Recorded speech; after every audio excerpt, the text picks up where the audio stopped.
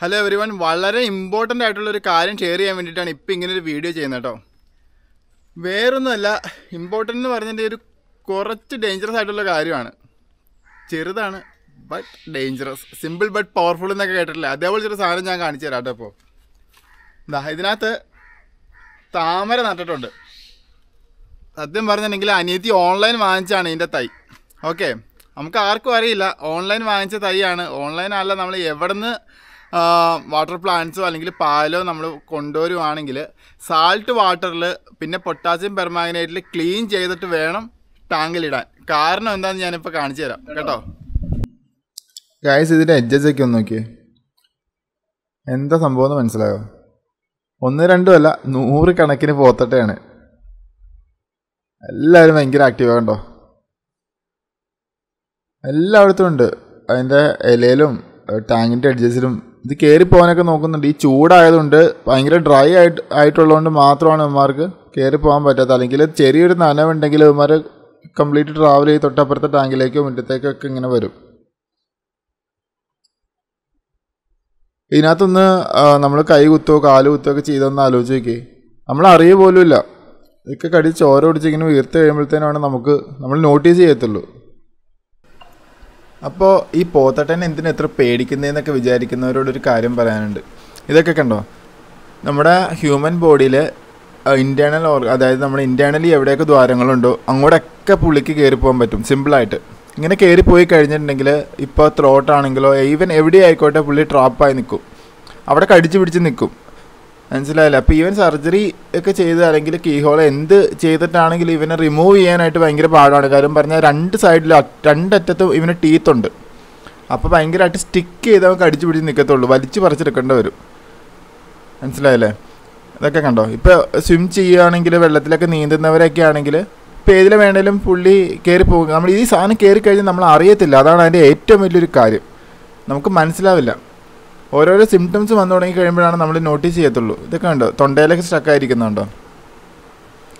ഇതൊക്കെ പല പല റീസണും കൊണ്ട് കയറി പോകുന്നതായിരിക്കാം. അപ്പോൾ ഇങ്ങനെയുള്ള കാര്യങ്ങളൊക്കെ നമ്മൾ വളരെ സിമ്പിളായിട്ട് എടുക്കരുത്. ഗായസ് അപ്പോൾ ഇത് ഞാനൊന്ന് നോട്ടീസ് ചെയ്തില്ലെങ്കിൽ ഒന്ന് ആലോചിച്ച് നോക്കി ഇപ്പോൾ വീട്ടിൽ കുട്ടികളുള്ള വീടാണെങ്കിൽ പിള്ളേരൊക്കെ ഉണ്ടെങ്കിൽ അവർക്ക് ഇങ്ങനെ ഈ വാട്ടർ പ്ലാന്റ്സ് ഒക്കെ നട്ടേക്കുന്ന അല്ലെങ്കിൽ ടാങ്കിലൊക്കെ വന്നിങ്ങനെ കൈ ഇടുക വെള്ളത്തിൽ കളിക്കുക. അതൊക്കെ ഭയങ്കര ഇൻട്രസ്റ്റ് ആയിട്ടുള്ള കാര്യമാണ് അപ്പോൾ ഇത്രയും ഡേഞ്ചറസ് ആയിട്ടുള്ള ഒരു സാധനം ഇതിനകത്ത് കിടക്കുവാണെങ്കിൽ ഒന്ന് രണ്ടും അല്ല നൂറ് കണക്കിനാണ്.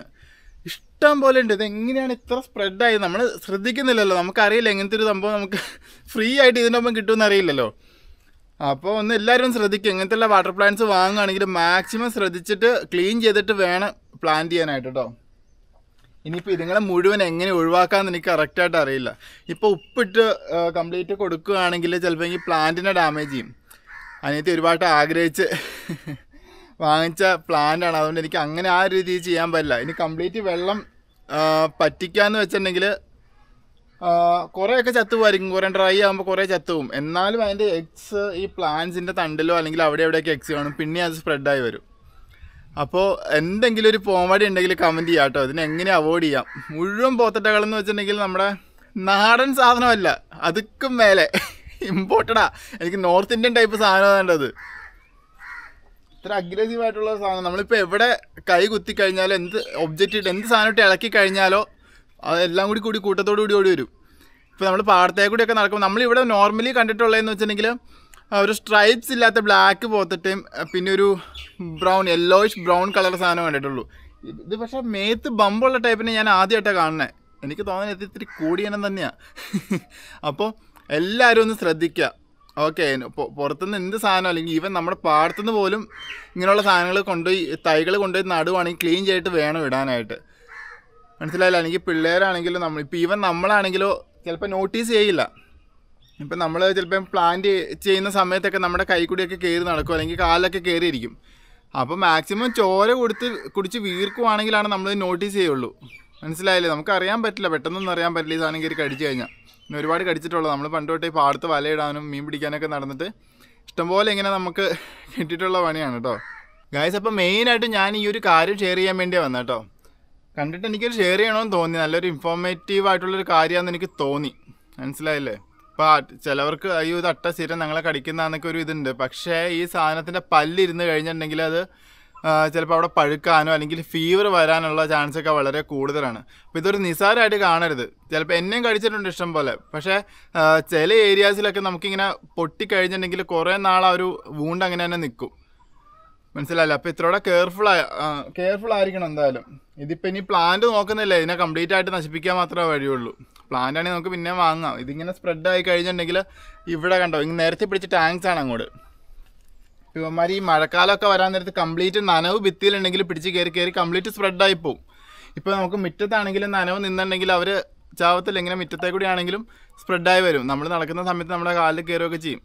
ഓക്കെ അപ്പോൾ എല്ലാവരും ഒന്ന് സൂക്ഷിക്കുക. ഇത്രയാണ് എനിക്ക് പറയാനുള്ളൂ. അപ്പോൾ നമുക്ക് പിന്നെ കാണാം. Bye bye